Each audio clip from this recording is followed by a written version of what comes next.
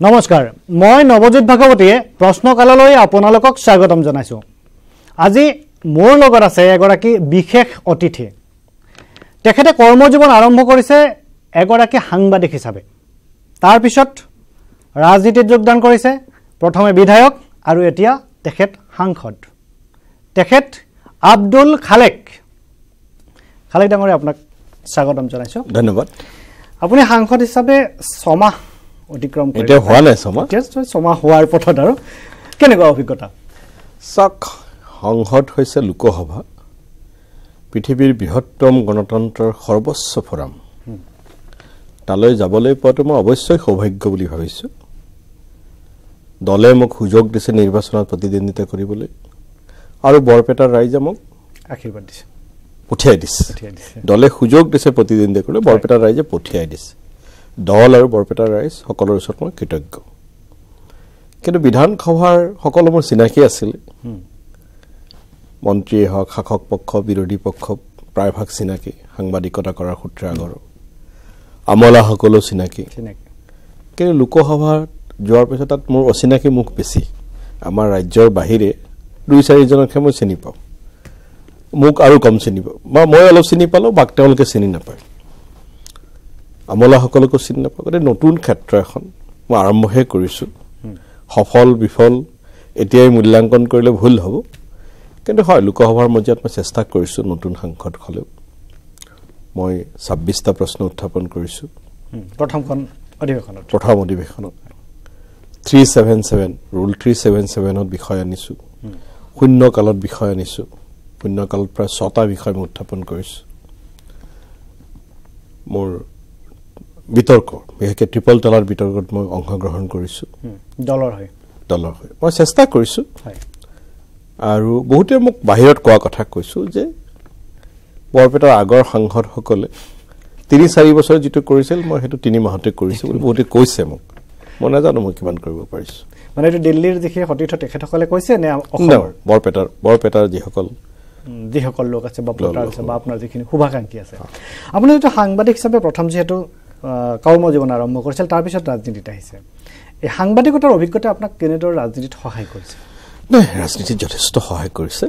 কাৰণ মই ভাবোঁ যে মই যদি পৰম্পৰাগত ৰাজনীতি কৰিলোহেঁতেন তেতিয়াহ'লে মোৰ বিধায়ক সাংসদ হোৱা সম্ভৱ হ'লহেঁতেন নে নাই? সন্দেহ আছে। কাৰণ আমাৰ পৰিয়ালত কোনো ৰাজনীতি কৰা মানুহ নাই। পঞ্চায়তৰ সভাপতিও হোৱা নাছিলে। টকা পইচাও নাই। টকা পইচাও নাই আমাৰ। গতিকে তেনেকুৱা এটা পৃষ্ঠভূমিৰ পৰা অহা ব্যক্তি এজনৰ কাৰণে বেকিঙো নাই। নাই ডাঙৰ মানুহৰ বেকিঙো নাই। গতিকে সাংবাদিকতাৰ বেকগ্ৰাউণ্ডে নিশ্চিতভাৱে মোক সহায় কৰিছে। আৰু এতিয়াও যেতিয়া বহু সমস্যা আহে এই অভিজ্ঞতাই মোক সহায় কৰে।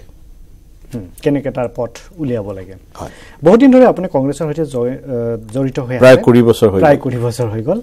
কিন্তু শেহতীয়াকৈ দেখা পোৱা গৈছে যে কংগ্ৰেছত কিছু ক্ষমতাকেন্দ্ৰিক যুঁজ বাগাড়ম্বৰ খোৱা কামৰ এইবোৰ আৰম্ভ হৈছে। কিয়? কি কাৰণ? মই যি পাঁচ ছ বছৰ সাংবাদিকতা কৰিছিলোঁ সেই সময়তো কংগ্ৰেছ বিৰোধী আসনত আছিলে। আৰু সেই সময়ত মই সাংবাদিক হিচাপেও দেখিছিলোঁ যে শাসক দলতকৈ সেই সময়ত অসম গণ পৰিষদ শাসক দল আছিলে কংগ্ৰেছ বিৰোধী দল আছিলে তেতিয়াৰ পৰিস্থিতি আৰু এতিয়াৰ পৰিস্থিতি একে নহয়। কিন্তু নহ'লেও দেখিছিলোঁ যে কংগ্ৰেছৰ বা বাতৰিহে বেছি আহে। কাৰণতকৈ যে এটি কংগ্ৰেছৰ এইটো এটা পৰম্পৰাও আছে। গণতান্ত্ৰিক দল। কংগ্ৰেছত সকলে মুকলিকে নিজৰ কথা ক'বও পাৰে। কিন্তু মই ভাবোঁ যে এই পৰম্পৰাটো ভাল নহয় দলৰ স্বাৰ্থত। হাইকমাণ্ড থকা স্বত্তে মানে হিচাপে কংগ্ৰেছতহে গণতান্ত্ৰিক পৰম্পৰাটো কম বুলিহে অভিযোগ কৰে সাধাৰণতে। নহয় নহয় সেইটো কথা নহয়। মোৰ যিটো নিজৰ অভিজ্ঞতা সাংবাদিক হিচাপেও দেখিছোঁ দলৰ ভিতৰত থাকিও দেখিছোঁ। যিহেতু কংগ্ৰেছ কংগ্ৰেছত কংগ্ৰেছত যিমান মুকু নাই মোৰ বিট অকল কংগ্ৰেছ নাছিলে মই বিজেপিও কৰিছিলোঁ। বিজেপি বিট আকৌ আকৌ বহুতে ভুল ব্যাখ্যা কৰিব। বিজেপিৰ বা বাতৰিও মই কৰিছিলোঁ অগপৰ বা বাতৰিও কৰিছিলোঁ যিহে- যিহেতু সেই সময়ত অগপ শাসনত আছিল। কিন্তু কংগ্ৰেছত মোৰ দুইটা অভিজ্ঞতাৰ পৰা দেখিছোঁ যে কংগ্ৰেছত মুকলিকে বহু কথাই ক'ব পাৰি। একেবাৰে যেতিয়া চূড়ান্ত অনুশাসন ভংগ হয় তেতিয়াহে ব্যৱস্থা লয়। কংগ্ৰেছত সেই গণতান্ত্ৰিক পৰিৱেশ এটা আছে। অকল যে ৰাজ্যিক নেতৃত্ব সেইটো নহয় আপুনি চাব। আমাৰ বহুতেই শীৰ্ষ নেতৃত্বৰ বিৰুদ্ধে কোৱাৰ পিছতো কংগ্ৰেছত ভালকৈ আছে। কংগ্ৰেছত সেই পৰিৱেশ এটা আছে ইয়াত শ্বাস প্ৰশ্বাস বন্ধ হৈ নাযায়। এনেকুৱা বহু ৰাজনৈতিক দল আছে নাম ক'ব খোজা নাই য'ত গ'লে শ্বাস প্ৰশ্বাস বন্ধ হৈ যায়। উদাহৰণ ক'ব পাৰে। নাই মই ক'ব খোজা নাই মই অন্য দলক অনাহকতা নি আনিব খোজা নাই। কংগ্ৰেছতো এনেকুৱা বহু উদাহৰণ আছে যিসকল লোকক এক- সময়ত তেওঁলোকক একাষৰীয়া কৰি পেলোৱা হৈছে। সেইটো ৰাজনীতিৰ নিয়ম। আপুনি যদি পুৰণি কালতো যায় যেতিয়া ৰাজতন্ত্ৰ চলিছিল তেতিয়া ৰজাৰ যিসকল ঘনিষ্ঠ থাকিছে তেওঁলোকক অন্য পাৰিষদসকল একাষৰীয়া কৰিছে। কংগ্ৰেছক কিন্তু তেনেহ'লে সকলো ৰাজনৈতিক দলতেই কংগ্ৰেছক তেনেহ'লে কি অৰ্থত আপুনি আটাইতকৈ বেছি গণতান্ত্ৰিক নহয় মই গণতান্ত্ৰিক কৈছোঁ ইয়াত কথাবোৰ মুকলিকৈ ক'ব পাৰি। ইয়াত আমাৰ যিবোৰ বেদনা থাকে যিবোৰ আমাৰ মনৰ ভাৱ থাকে ভিন্ন চিন্তা থাকে। না অকল সংবাদ মাধ্যম বুলি নহয় ভিন্ন চিন্তা থাকে সেইবোৰ প্ৰকাশ কৰিব পাৰি। অন্য দলত সেই অৱকাশ কম। আজি ধৰক মোদী অমিত শ্বাহৰ বিৰুদ্ধে মোদী অমিত শ্বাহে বেয়া পোৱা কথা বিজেপিৰ লোকসকলৰ ক'বলৈ সাহস নাই।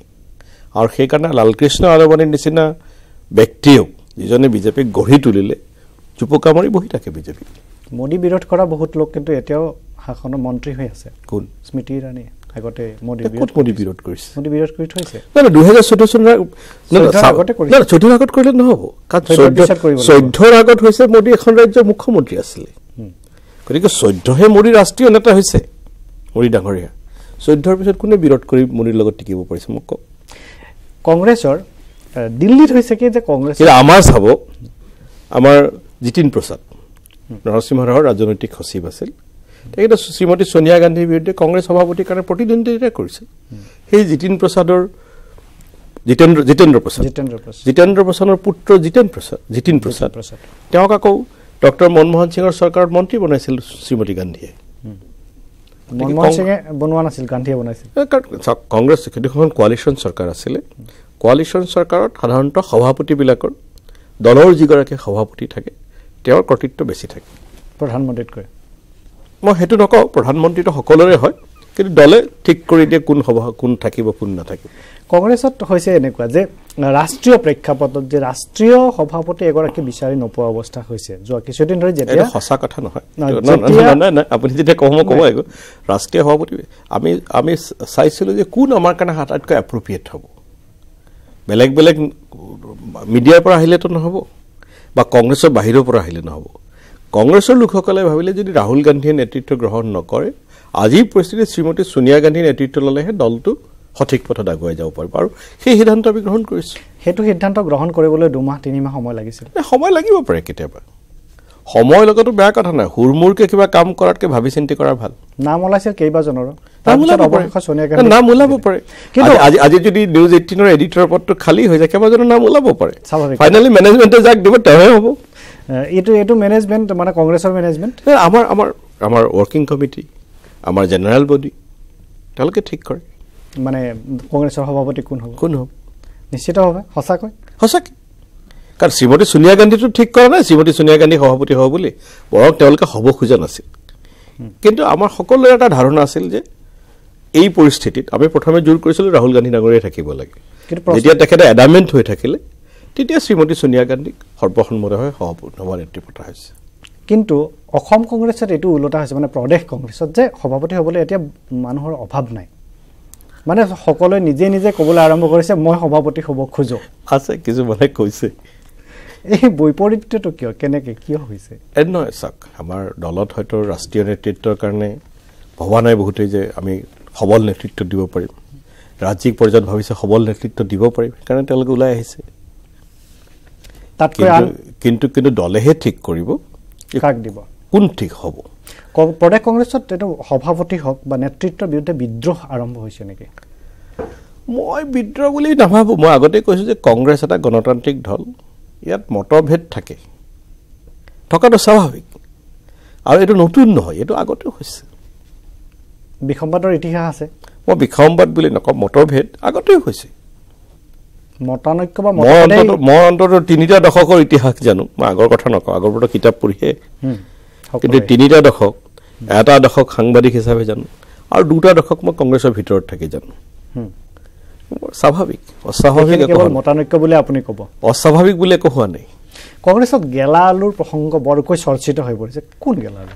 মই সেইটো ৰূপজ্যোতি কৰ্মীয়ে ক'ব পাৰিব মই নাজানো দেই সেইটো। পচা আলুৰ কথাও কৈছে। নহয় চাওক দলটোততো এটা কংগ্ৰেছ এটা প্ৰবাহমান ৰাজনৈতিক কংগ্ৰেছটো এটা ৰাজনৈতিক এটা প্ৰবাহমান নদীৰ দৰে। নদীত যেনেকৈ পুৰণি পানী আহে তাৰ কিছু গেলা থাকে। নতুন সোঁতৰ লগত নতুন পানীও আহে। গেলাখিনি উটুৱাই লৈ যাব। উটুৱাই লৈ যায়। গতিকে থকা স্বাভাৱিক। এটা প্ৰবাহমান দ- নদীত যেনেকে গেলা পানী থাকে কংগ্ৰেছতো থকাটো স্বাভাৱিক। এইটো অস্বাভাৱিক গেট পৰিবলৈ আৰম্ভ কৰিছে গেটটোৱে নদীখন শীৰ্ণ জীৰ্ণ কৰি নোহোৱা শীৰ্ণ। জীৰ্ণ নকৰে। মাৰি পেলাব নেকি? নাই নাই শীৰ্ণ জীৰ্ণ নকৰে।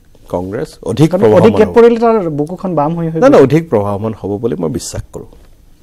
প্ৰবাহমান হ'ব নোৱাৰে গেট যেতিয়া পৰিব প্ৰবাহমান কেনে এতিয়া গেট পৰি নতুন পানী আহিব নহয় নতুন পানী বুকুখন ধুৱাই লৈ যাব উঠি উঠি গৈ থাকিব নতুন। পানীয়ে ধুৱাই লৈ যাব যে হাৰিয়ানা আৰু মহাৰাষ্ট্ৰত দেখিছে হাৰিয়ানাতো কোনো আশা কৰা নাছিল আমি ত্ৰিছখনতকৈ অধিক আসন পাম বুলি। পাই গ'লো। গতিকে কষ্ট কৰি থাকিলে কাম হৈ থাকে। মহাৰাষ্ট্ৰ আৰু হাৰিয়ানাত বিশেষকৈ হাৰিয়ানাত ৰাহুল গান্ধীয়ে প্ৰচাৰ চলাবলৈ যোৱা নাছিল। চাওক প্ৰচাৰ কৰক বা নকৰক ৰাহুল গান্ধী আমাৰ স্বাভাৱিক নেতা। স্বাভাৱিক নেতা। প্ৰচাৰ কৰক বা নকৰক ৰাহুল গান্ধী আমাৰ স্বাভাৱিক নেতা আৰু তেওঁৰ নামতো ভোট হয়। তেওঁৰ নামতেই ভোট হয়।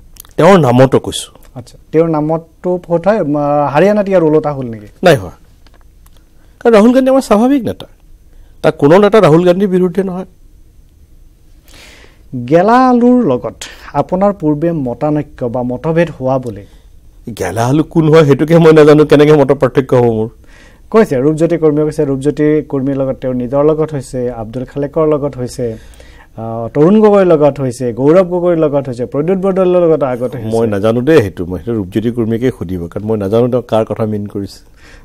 আপোনাৰ কাৰ কাৰ লগত মতানৈক্য এই মতভেদ হ'ব পাৰে বহুতৰ লগতে হ'ব পাৰে হৈছেও মোৰ। মোৰ পৰিয়ালটোতো মতভেদ হয়। মোৰ ভাতৃৰ লগত মই সদায় একে থাকোঁ জানো কথাবোৰ। মোৰ পত্নীৰ লগতো কেতিয়াবা মত পাৰ্থক্য হয়। সেইটো হোৱাটো স্বাভাৱিক। কাজিয়া নহয় মাত্ৰ। কাজিয়া হয় কেতিয়াবা। নহয় বুলি মই নকওঁ দেই। হ'ব পাৰে। কংগ্ৰেছ অগপৰ দৰে হৈ গ'ল নেকি? নাই। কংগ্ৰেছৰ প্ৰচুৰ সম্ভাৱনা আছে।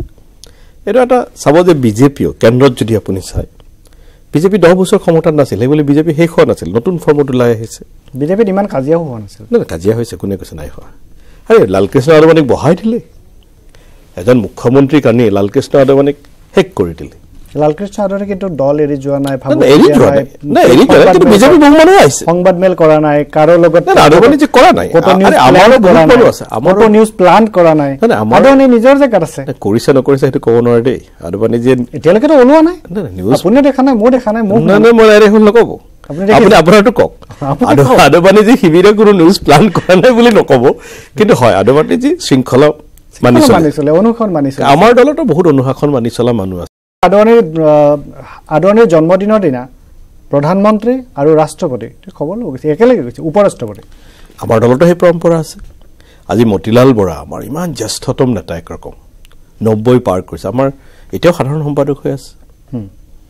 বিজেপিতো সেইটো পাৰা নাই। বিজেপিত বিজেপিত যিসকলে যিসকলে বিজেপিক প্ৰতিষ্ঠা কৰিলে এজন এজনকে একাষৰীয়া কৰিলে। আদৱানীজী মুৰলী মনোহৰ যোশী এজন এজনকে যশবন্ত সিং সিনহা যশবন্ত সিং। কংগ্ৰেছত ইয়াৰ ইতিহাস কিন্তু বহুত যথেষ্ট গভীৰ। কাক একাষৰীয়া কৰিছে মোক কওক? সুভাষ চন্দ্ৰ বসু। আৰু সুভাষ চন্দ্ৰ বসু মত পাৰ্থক্য হৈ গুচি গৈছে। সেইটো এটা মতাদৰ্শগত যুঁজ আছিল। নৰমপন্থী চৰমপন্থী। চৰ্দাৰ বল্লভ ভাই পেটেল। চৰ্দাৰ বল্লভভাই পেটেলক কেতিয়াও একাষৰীয়া কৰা গৃহমন্ত্ৰী হৈ আছিলে। আজি আজি নাই শুনক প্ৰধানমন্ত্ৰী হোৱা নোহোৱাটো বেলেগ কথা এটা পদত এজন মানুহে থাকিব পাৰে। কিন্তু আজি আজি চৰ্দাৰ বল্লভভাই সেই পেটেলক চৰ্দাৰ বল্লভভাই পেটেলক নাই, আছিল নাই, বল্লভ ভাই পেটেল তেতিয়া কিন্তু তেওঁক প্ৰধানমন্ত্ৰী পতা নহ'ল। কোন কেতিয়া আছিলে সভাপতি? যেতিয়া জৱাহৰলাল নেহৰু নহয়। নহয় নহয় আপুনি ভুল কথা কৈছে। ঊনৈছশ দেশ বিভাজনৰ ছয়চল্লিছ চনলৈকে মৌলানা আবুল কালাম আজাদ সভাপতি আছিলে। তাৰপিছত পণ্ডিত জৱাহৰলাল নেহৰু সভাপতি হৈছে। আৰু তেওঁ প্ৰধানমন্ত্ৰী হৈছে। হয় দাবী থাকিব পাৰে সেইটো বেলেগ কথা। কিন্তু পণ্ডিত জৱাহৰলাল নেহৰুৰ নাম প্ৰস্তাৱ কৰিছিল চৰ্দাৰ বল্লভভাই পেটেলে। আৰু চৰ্দাৰ বল্লভভাই পেটেলে আৰ এছ এছক নিষিদ্ধ কৰিব বিচাৰিছিল। পণ্ডিত নেহৰুহে কৰা নাই। আজি আৰ এছ এছে পেটেলৰ পেটেলজীৰ কথা খুব কৈ থাকে। কিন্তু নিষিদ্ধ তেখেতে কৰাৰ প্ৰস্তাৱ দিছিলে। এইটো এইটো আচলতে বিজেপিৰ অধিক তেওঁৰ উদাৰপন্থী নেকি যে যি- যিগৰাকী মানুহে নিষিদ্ধ কৰিব বিচাৰিছিল তেওঁৰ প্ৰতিমূৰ্তি আটাইতকৈ ডাঙৰকৈ নিৰ্মাণ কৰিছিল। অন্য হয়তো ভাবে সেইটো উদাৰতা হিচাপে অন্য তেওঁলোকে তেওঁলোকে চাওক সকলো সকলোৰে দৃষ্টিভংগী বেলেগ বেলেগ থাকে। পৰিয়ালত নিশ্চিতভাৱে। এটা পতি আৰু পত্নীৰো দৃষ্টিভংগী একে নহয়। হয়। দুই ভাতৃৰ দৃষ্টিভংগী একে নহয়। হয়। পেটেলজী আৰু নেহেৰুজীৰ দৃষ্টিভংগী বেলেগ হ'ব পাৰে। কিন্তু পেটেল চৰ্দাৰ পেটেল ডাঙৰীয়াই কেতিয়াও নেহেৰুজীক প্ৰত্যাহ্বান জনোৱা নাছিলে। মত পাৰ্থক্য থাকিব পাৰে সেইটো বেলেগ কথা। আপোনাৰ দৃষ্টিত বৰ্তমান প্ৰদেশ কংগ্ৰেছৰ সভাপতি আৰু বিৰোধী দলপতিৰ যি কাৰ্যকুশলীটো কেনেকুৱা? কি বুলিছে চাওক মইতো এতিয়া বিধায়ক নহয়। কিন্তু মই যেতিয়ালৈকে বিধায়ক আছিলোঁ মই দেখিছোঁ শইকীয়া ডাঙৰীয়াই ভালকৈ চলাইছে। আৰু দলপতিয়ে হওক বা সভাপতিয়ে হওক মোৰ যি বক্তব্য আছে সেই বক্তব্য মই হাইকমাণ্ডৰ ওচৰত জনাম। এতিয়া সপক্ষে হওক আৰু বিপক্ষে হওক সেইটো মই টিভিত নকওঁ। ডাঙৰীয়া এন আৰ চি এটা আটাইতকৈ চৰ্চিত বিষয় দেশে বিদেশে অসমৰ N R C. A I U D এফৰ লগত আপোনাৰ জনিয়াত প্ৰতিদ্বন্দ্বিতা হৈছে। সংখ্যালঘু ভোটক লৈ কংগ্ৰেছ আৰু এ আই ইউ ডি এফৰ মাজত টনাটনি চলে। কিন্তু এন আৰ চিক লৈ দুয়োটা দলৰ মাজত যি নীতি তাত কোনো পাৰ্থক্য দেখা নাই। কি কি পাৰ্থক্য নেদেখিলে এন আৰ চিক লৈ যিটো নীতি। পাৰ্থক্য নাথাকিব পাৰে। বহু দলৰ লগত ইভেন বিজেপিৰ লগত সকলো কথাতে যে আমাৰ মতবিৰোধ আছে সেইটো নহয়। বা চি পি এমৰ লগত সকলো কথাই যে আমাৰ মতবিৰোধ আছে সেইটো নহয়। কংগ্ৰেছ আমি অকল আমি কেলেই অসম গণ পৰিষদ। আপুনি কংগ্ৰেছ আৰু ইউ ডি এফৰ কথা কৈছে। অসম গণ পৰিষদ আৰু আমাৰ এন আৰ চিলৈ কি মতৰ পাৰ্থক্য আছে? অসম গণ পৰিষদেও কৈছে এন আৰ চিৰ পক্ষত আমিও এন আৰ চিৰ পক্ষত। অসম গণ পৰিষদেও কৈ আছে যে এসত্তৰ চনৰ পিছৰ সকলো যাব লাগিব। আমিও কৈছোঁ এসত্তৰ চনৰ পিছৰ সকলো যাব লাগিব। যদিও তেওঁলোকে এন ডি এত আছে কিন্তু কেবক লৈ। অসম গণ পৰিষদ আমাৰ ষ্টেণ্ড একেই। গতিকে অকল ডি এফৰ লগত কিয় টানিছে? এন আৰ চিক লৈ অসম গণ পৰিষদ সম্পূৰ্ণ সন্তুষ্ট নহয়। স্থিতি প্ৰকাশ কৰিছে। নাই অসন্তুষ্টি থাকে। কিন্তু সেই অসন্তুষ্টি কংগ্ৰেছ বা এ আই ইউ ডি এফত নাই। নাই নাই অসন্তুষ্টি সেয়ে নাই, নাই, কংগ্ৰেছ আৰু এ আই ইউ ডি এফৰ মাজত নাই, নাই, নীতিগত অসন্তুষ্টি পাৰ্থক্য নাই আছে বুলি- এন আৰ চিক লৈ। শুনক সামান্য অস- অসন্তুষ্টি থাকিবই। ঊনৈছ লাখ মানুহৰ নাম বাদ পৰিছে। আৰু তাৰ ভিতৰত যথেষ্ট সংখ্যক ভাৰতীয় নাগৰিকৰ নাম বাদ পৰিছে। আমি ব্যক্তিগতভাৱে জানো আপুনিও জানে। কিছুমান পৰিয়ালৰ ছজনৰ নাম সোমাইছে দুজনৰ নাম সোমোৱা নাই। এটা পৰিয়ালৰ ছজন স্বদেশী দুজন বিদেশী নেকি? গতিকে অলপ ওচৰত অসন্তুষ্টি থাকিবই। চিহ্নিত বিদেশী কিন্তু কিন্তু এটা দীৰ্ঘ। এটা দীৰ্ঘ প্ৰক্ৰিয়াৰ মাজেৰে এন আৰ চি হৈছে। আৰু সেইকাৰণে এই প্ৰক্ৰিয়াক আমি স্বাগতম জনাইছোঁ। আৰু অকল অসম গণ পৰিষদৰ কথা কিয় কৈছে? আজি চৰকাৰৰ স্থিতি কি? এন আৰ চি বিৰোধী এন আৰ চি বিৰোধীটো নহয় হিমন্ত বিশ্ব শৰ্মাহে এন আৰ চি বিৰোধী শিলাদিত্যহে এন আৰ চি বিৰোধী। চৰকাৰে কি কৈছে? বিদেশ মন্ত্ৰালয়ে কি কৈছে? Constitutional document scientific document legal document সেই কথাটো আমিও কৈ আছোঁ। আজি আজি বিজেপিৰ স্থিতিৰ কথা বাদ দিয়ক মই চৰকাৰৰ স্থিতিৰ কথা কৈছোঁ। জয়শংকৰে কি কৈছে? বিদেশ মন্ত্ৰালয়ৰ ষ্টেটমেণ্টত কি কৈছে? হোম মিনিষ্টাৰৰ ষ্টেটমেণ্টত কি কৈছে? হয় অমিত শ্বাহে নেডাৰ এন ই চি মিটিঙত আহি কৈছে সকলো অনুপ্ৰৱেশকাৰীক খেদি পঠিওৱা হ'ব। আমি কিবা অনুপ্ৰৱেশকাৰী পক্ষত নেকি? আমিও বিচাৰিছোঁ অনুপ্ৰৱেশকাৰীক খেদি পঠিয়াব লাগে। কিন্তু এই ক্ষেত্ৰত এটা দুটা প্ৰশ্ন আছে যে প্ৰথম কথা হ'ল আপোনালোকে সদায় কয় যে যিসকল বাদ পৰিছে তাৰ মাজত ভাৰতীয় নাগৰিক আছে। সত্য আৰু শুদ্ধ কিছু তাত তথ্য আছে। কিন্তু কেতিয়াও কোৱা নাই যে যিখিনি লোকৰ নাম অন্তৰ্ভুক্ত হৈছে তাত চিহ্নিত। অৰ্থাৎ ন্যায়াধিকৰণে ঘোষণা কৰা বিদেশীৰ নামো আছে। যদি আছে কাৰ দায়িত্ব এইটো? চৰকাৰৰ দায়িত্ব নহয় নেকি? চৰকাৰখন নিষ্কৰ্মা নহয় নেকি। যদি বিদেশীৰ নাম আছে যদি বিদেশীৰ নাম আছে চৰকাৰখনে কি কৰিলে? এইটো চৰকাৰৰ দায়িত্ব চৰকাৰী চৰকাৰী মেচিনাৰীয়ে চৰকাৰী? প্ৰশাসন যন্ত্ৰ ন্যায়ালয়ক কিয় নকয় যে উচ্চতম ন্যায়ালয়ৰ আমাৰ চৰকাৰ যিসকলে চলায় চৰকাৰে চৰকাৰে বৰ্তমান বৰঞ্চ এতিয়াও কৈছে যে চৰকাৰে কৰিব দিয়া হলে ভালেই হলহেঁতেন। চৰকাৰৰ? চৰকাৰ হিমন্ত বিশ্ব শৰ্মাৰ চৰকাৰ একে নহয়। মুখ্যমন্ত্ৰীয়ে কৈছে নেকি মোক কওক? হিমন্ত বিশ্ব শৰ্মা হিমন্ত বিশ্ব শৰ্মা চৰকাৰৰ এজন মন্ত্ৰীহে। মই পূৰ্বেও কৈছো আৰু আজিও ক'ম। হিমন্ত বিশ্ব শৰ্মাই যিবোৰ কথা কৈছে প্ৰথমে মন্ত্ৰী পদৰ পৰা পদত্যাগ কৰিহে ক'ব লাগিছিলে। কাৰণ তেওঁ চৰকাৰৰ বিপৰীত স্থিতিৰ কথা কৈ আছে। চৰকাৰেতো কোৱা নাই। আনকি অমিত শ্বাহ গৃহমন্ত্ৰী তেওঁ ক'ত ক'লে? দলৰ মজিয়াত গৈ কি গোপনে কি ভাষণ দিছে সেইটো বাদ দিয়ক। অমিত শ্বাহেতো এন আৰ চিৰ বিৰুদ্ধে কোৱা নাই। মোদী ডাঙৰীয়াই কোৱা নাই। আপুনি মিনিটে মিনিটে তেখেতৰ টুইট পাব। আপুনি এটা টুইট দেখুৱাব পাৰিব নেকি এন আৰ চিৰ বিৰুদ্ধে মোদী ডাঙৰীয়াই বিৰোধী অমিত শ্বাহৰ এটা টুইট দেখুৱাব পাৰিব নেকি? উচ্চতম ন্যায়ালয়ৰ তত্বাৱধানত হোৱা যিহেতু এন আৰ চিখন তেওঁলোকে বিৰোধ কৰা নাই। মাত্ৰ কৈছে যে যদি তাত খাম খেয়ালি আছে খুট আছে কিছু খুট ওলাইছে আমি শুধৰাই লওঁ খুট থাকিলে সুধি ল'ব লাগে। আমি ক'ত বিৰোধিতা কৰিছোঁ? আৰু খুটটো আছে অকণমান এই যে স্বদেশীসকলৰ নাম বাদ পৰিছে। আপুনি কেৱল চৰকাৰক টাৰ্গেট কৰিছিল? নাই চৰকাৰৰ দায়িত্ব আছে। মই এতিয়াও কৈছোঁ চৰকাৰৰ দায়িত্ব আছে। যদি খুট আছে সেইটো গুচোৱাটো চৰকাৰৰ দায়িত্ব। উচ্চতম ন্যায়ালয়ে যিহেতু চৰকাৰক তাত সোমাবই দিয়া নাই তেনেহলে উচ্চতম ন্যায়ালয়ে কৈছে সোমাবই? নাই? উচ্চতম ন্যায়ালয়ত চৰকাৰে বাৰে ৰাখিছে। বাৰে এফিডেভিট দিছে। চৰকাৰে বাৰে বাৰে এফিড দিছে। চৰকাৰে কেতিয়াও এই প্ৰক্ৰিয়াক প্ৰত্যাহ্বান জনোৱা নাই। উচ্চতম ন্যায়ালয়ে যি নিৰ্দেশ দিছে তাক মানি লৈছে। চৰকাৰৰ যদি বিৰোধ আছিল চৰকাৰে কাউণ্টাৰ এফিডেভিট দিব লাগিছিল সেইবোৰ দিয়া নাই দিয়া। কেৱল কাউণ্টাৰ এফিডেভিটৰ কথা কৈছে নে তাত মেচিনাৰীটোত ইনভল্ভ হোৱাৰ কথা কৈছে? মেচিনাৰীটো আছে কোনে কৰিছে? কথা ডি চি কৈছে। বিলাক কাৰ আণ্ডাৰত আছে? সুপ্ৰিম কোৰ্টে কৰিলেও সুপ্ৰিম ৰঞ্জন গগৈ ডাঙৰ এতিয়া ডাইৰেক্ট প্ৰতিনিধি পঠোৱা নাই। চৰকাৰৰ ডি চিয়ে বনাইছে। চৰকাৰৰ কমিশ্যনাৰ বনাইছে। চৰকাৰৰ মেজিষ্ট্ৰেটে বনাইছে। কোনে বনাইছে? মানে চৰকাৰে ইয়াত হস্তক্ষেপ কৰিব লাগিছিল। চৰকাৰ হস্তক্ষেপ কৰি আছে। কৰিব লাগিছিল। চৰকাৰেতো হস্তক্ষেপ কৰি নাই কৰা ক'ত? চৰকাৰৰ ডি চি যিমানে সুপ্ৰিম কোৰ্টৰ কথা কওক ডি চি কাৰ কণ্ট্ৰলত চলে? মেজিষ্ট্ৰেটসকল কাৰ কণ্ট্ৰলত চলে? চৰকাৰৰ কণ্ট্ৰলত চলে। যে চৰকাৰ জড়িত নহয় বুলি কোনে ক'ব পাৰিব? মেচিনাৰী জড়িত নে চৰকাৰ জড়িত? চৰকাৰ আৰু মেচিনাৰী মই একো পাৰ্থক্য দেখা নাপাওঁ। চৰকাৰে হস্তক্ষেপ কৰিছে। চৰকাৰে বনাইছে। এইখন এইখন N R C N R C কোনে প্ৰস্তুত কৰিছে? মোক এইটো প্ৰশ্নৰ উত্তৰ দিয়ক। R G I. R G I কাৰ অংশ? মিনিষ্ট্ৰী অফ হোম এফেয়াৰ্ছৰ মানে চৰকাৰৰ নিৰ্দেশত হৈছে গোটেই মহামান্য উচ্চতম ন্যায়ালয়ে পৰ্যবেক্ষণহে কৰিছে। আপুনি ক'ব খুজিছে যে চৰকাৰে চৰ- প্ৰস্তুত কৰিছে। সুপ্ৰিম কোৰ্টৰ মহামান্য উচ্চতম ন্যায়ালয়ৰ পৰ্যবেক্ষণত। পৰ্যবেক্ষণহে কৰিছে তেওঁলোকে। এইটো ঠিকমতে হৈছে নাই? প্ৰপাৰ প্ৰপাৰলি হৈছে নাই? মনিটৰিংহে কৰিছে সুপ্ৰিম কোৰ্টে বাকী চব চৰকাৰে কৰিছে।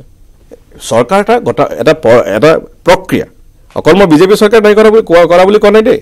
এইখন ইউ পি এ চৰকাৰে আৰম্ভ কৰিছিলে অসমৰ কংগ্ৰেছ চৰকাৰে আৰম্ভ কৰিছিলে বিজেপি চৰকাৰে সেইটো এটা প্ৰক্ৰিয়া আগবঢ়াই নিছে। আগবঢ়াই মোটামুটি শেষ চূড়ান্ত তালিকা হৈছে মানে মোটামুটি এটা পৰ্যায়ত উপনীতি হৈছে। এটা পৰ্যায় পাইছে।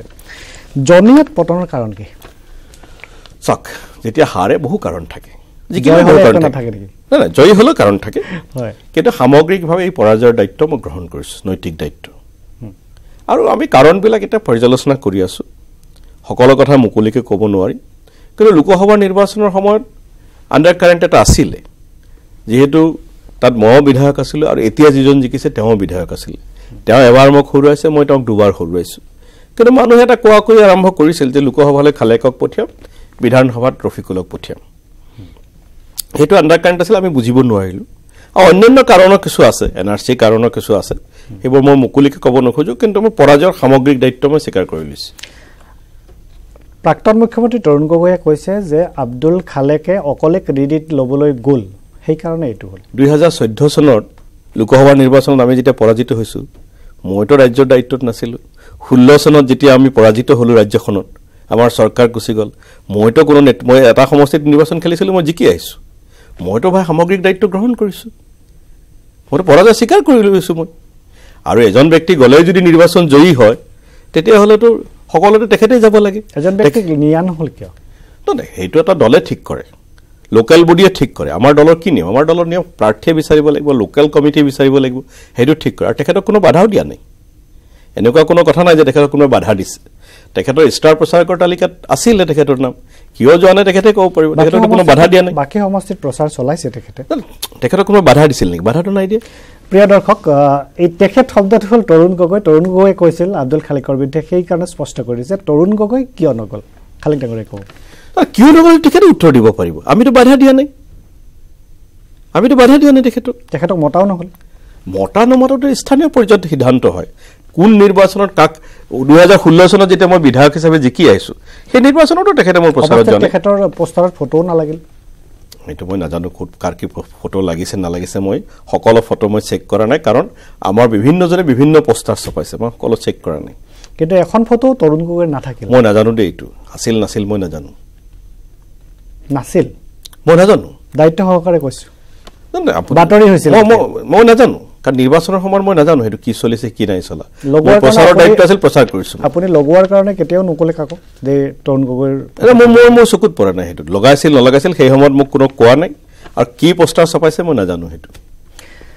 জনিয়াত দুহেজাৰ ষোল্ল চনত আপুনি যেতিয়া জয়ী হৈছিল এই একেগৰাকী প্ৰাৰ্থীৰ বিৰুদ্ধে তেখেতক যিমান ভোটত হৰুৱাইছিল এইবাৰ কংগ্ৰেছ প্ৰাৰ্থীক তাতকৈ অধিক ভোটত হৰুৱাইছে। কাৰণটো কেনেকুৱা? নহয় নহয় চাওক মই ত্ৰিছ হাজাৰত জিকিছিলোঁ বিধানসভাত। লোকসভাত মই চল্লিছ হাজাৰত জিকিছোঁ।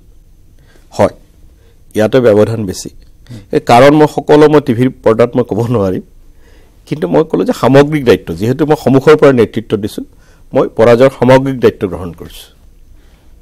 জনীয়া পতনৰ আঁৰত এনেকুৱা অভিযোগো উঠিছে? কোনো পতনে স্থায়ী নহয়।